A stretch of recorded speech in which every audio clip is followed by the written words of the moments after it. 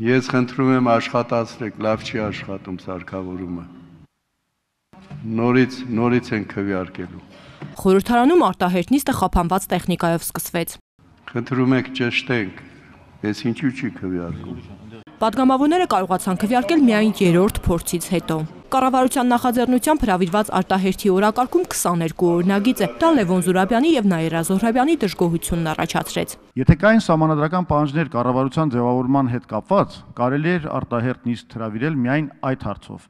եւ ոչ թե 22 օրենք ճխտել այս արտահերթի մեջ, ինչը բացառում է օրենքների պատշաճ քննարկումը։ Գալուս Սահակյանը խորհուրդ տվեց նախ օրինագծերին ծանոթանալ, հետո նոր միայն դատողություններ անել եւ ելույթ ունենալ։ Հասած քարոզարշավի գործընթացից երկար չեն կտրվի, արտահերթը երկար չի տևի։ Սա շատ կարճ տևող արտահերթ է Նաիրա Զոհրաբյանը գործընկերոջ վրթովմունքը շարունակեց, ասաց 22 օրինագծով արտահերթ հրավիրել, երբ երկրում տիմ ընտրություններ են, անհարգալից վերաբերմունք է խորհրդարանի հանդեպ։ Եթե կառավարությունը խնդիր ունի հերթական անգամ վերաձևելու կառավարության կազմը, ինչ որ մեկին նախարար նշանակելու, ինչ որ մեկի համար կոմիտե ստեղծելու համար, կարելի էր այդ նախաձեռնությունը միայն բերել։ Ձևեք ձեր կառավարությունը ում վրա ոնց ուզում եք, բայց մի բերեք լրջագույն նախագծեր քննարկել այն պահին, երբ որ падգամավորները զբաղված են թիմ ընտրությունների քարոզարշավով։ Արտահերթը հրավիրվել է ինչպես որ կարգն է կանոնակարգ օրենքի տարին համապատասխան։ Ոչինչ չի խախտվել, պատասխանեց Գալուս Սահակյանը։ Այդպես չի, որ յուրաքանչյուր ցանկացողի ականջին կառավարությունն ու ազգային ժողովը ինչ որ մի բան փսփսա։ Ինչ է նշանակում տեղական ինքնակառավարման ընտրություններ են գնում։ Ինչ առաջի անգամ է այդ ընտրությունները խորհրդարանը պիտի ընդհանրապես չաշխատի, որպեսզի դուք մասնակցեք ընտրության։ Արտահերտ նիստին նախ տեղական турքերի եւ վճարների մասին օրենքում փոփոխությունների նախագիծը ներկայացվեց։ Փոքր եւ միջին բիզնեսով զբաղվող առևտրային շատ կետերի համար մուտքի բեռը թեթևանում է։ Անկախ գործնեության տարածքի չափից մինչև հիմա հանրային սննդի բոլոր կետերի համար թույլտվության турքի չափը հավասար էր եւ փոքրիկ կրպակը եւ խոշոր սուպերմարկետը երամսյակը 1 նույն չափի գումար էին վճարում 17500 դրամ։ Քաղաքապետարանն առաջարկում է турքը սահ սահմանել ըստ տարածքի չափի։ Խոշորներն այսուհետև ավելի շատ գումար կվճարեն, փոքրերը քիչ։ Առևտրային այս օբյեկտները ելնելով իրենց տարածքի չափերից տարբերակվել են 6 տարբերակների, մինչև 26 քառակուսի մետրից, այնուհետև կրկնակի չափի ավելացման սկզբունքով 501 եւ ավելի քառակուսի մետրը սահմանելով յուրաքանչյուրի դեպքում տարբերակված թույլտվության турքի չափ։ Միայն Երևանում օրենքը կտարածվի 3000 առևտրականի վրա, նրանց 50-ից 60%-ի բեռը կթեթևանա։ Հանրապետությունում փոփոխությունը կառնչվի 10-ից 12000 տնտեսվարողի։ Թևան Պողոսյանը հետաքրքրվեց, օրենքը փոխելիս ի՞նչն են հիմք ընդունել, քանի փոքր ու միջին բիզնես է փակվել այս անհավասարության պատճառով։ Ասենք, չգիտեմ, 100-ը փակվել են, դա եղել է արձագանք կամ, չգիտեմ, ազդակ, որ պետքա ինչ-որ փոփոխություն անենք պետական турքի պատճառով մինչև հիմա որևէ առևտրային կետ չի փակվել, պատասխանեց Կամոարեյանը, սակայն տնտեսվարողները իմանալով турքի չափը վախեցել են գործնություն սկսել։ Ընթացքում մուտ գործելուց ինքը արդարացույրեն հայտնել է իր դժգոհությունը, որ այո, անհավասար պայմաններում են ինքն սուպերմարկետը։ Երեք անգամ կրկնեցիք տարբեր պատասխանները,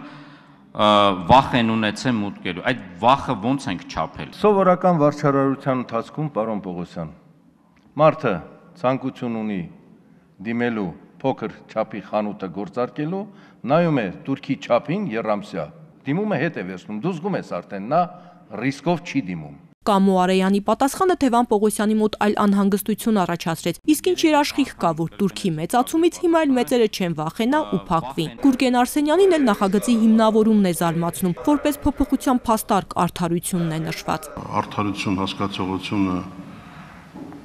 եւ տնտեսագիտությունը, տնտեսական հաշվարկները դրանք մի քիչ իրարից հեռու են։ Այո, հիմնավորման մեջ կա արդարության, բայց ես իմ ելույթում բազմիցս ցանրացա, որ հավասար պայմաններ ստեղծել եւ թեթևացնել մուտքի բեռը։ Արսենյանին մեկ այլ հարց է զարմացնում։ Պատգամավորը մաթեմատիկական པարզ հաշվարկ է արել եւ ապշել։ Բեռը ոչ թե թեթևանում է, այլ ծանրանում։ Չեք կարծում, որ ասենք օրինակի համար 10000 դրամ ավելի շատ է, քան 6000 դրամ։ Դուք ասում եք թեթևացում։ Հիմա այդ թեթևացումը մաթեմատիկայի հետ բան է, էլի, հակասումը։ Եթե շուտ ուրիշ բան կա, ասեք այդ այդ մասը հասկանանք, որտեղ այդ մասը չեմ կարող հասկանալ։ Եթե թեթևացնում Նույն սկզբունքն է, 6000-ը դառնում ասենք օրինակ համար 10000 չթեթևացավ, շնորհակալ։ հասկացա, նույն սկզբունքն է։ Այո, այստեղ եւս արդարացի չէր եւ ճիշտ չէր, հավասար չէր չտարբերակել ըստ մետրաժի հանրային սնդի կազմակերպման օբյեկտները հիմք չընդունել քառակուսի մետրը։ Թուլտվության Թուրքի չափի խնդիրը փոքր ու միջին առևտրականները բացրացել են 1 տարի առաջ։ Արեյանն ասաց, այս ընթացքում բազմաթիվ հանդիպումներ ու քննարկումներ են եղել։ Հաշվի առել ենք բոլորի պահանջները, բոլորի կարծիքները։ Սրա համար ժամանակ էր պետք, Մայրաքաղաքում մուտքի բեռի թեթևացումից կօգտվի մոտ 600 տնտեսվարող, մարզերում անհամեմատ ավելի շատ։ Գյուղական բնակավայրերում առևտրային գրեթե բոլոր կետերը փոքր են։ Երևանում է այսպես տարանջատվածությունը մեծ։ Յուղերում գրեթե համարյա բոլորը նույն չափի եւ կրելու են սրա դրական ազդեցությունը։ Կառավարության կառուցվածքային փոփոխության հարցը արդարադատության նախարարի պաշտոնակատարը ներկայացրեց։ Այսուհետև քաղաքաշինության նախարարություն չենք ունենա։ Դրա փոխարեն ճարտարապետության եւ մշակութային պահպանության կոմիտեն կլինի։ Երեք նախարարություն էլ կվերանվանվեն։ Էկոնոմիկայի նախարարությունը կկոչվի ներդրումների եւ ձեռնարկատիրությունների աջակցության նախարարություն։ Տրանսպորտի եւ կապի նախարարությունը կավելանա նաեւ տեղեկատվական տեխնոլոգիաներ բառակապակցությունը։ Իսկ էներգետիկայի եւ բնական բնական պաշարների նախարարությունը կդառնա էներգետիկ ենթակառուցվածքների եւ բնական պաշարների նախարարություն։ Ես առաջարկում եմ կառավարությունը քննարկման առարկա դարձնել իմ հետեւյալ առաջարկը, որպեսզի Սփյուռքի նախարարությունը վերանվանվի Սփյուռքի եւ հայրենադարձության նախարարություն Ինձ համար կոնկրետ ընդունելի է, ես